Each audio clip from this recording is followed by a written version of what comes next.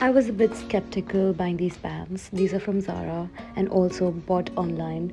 Not a big fan of online shopping, but these turned out to be great.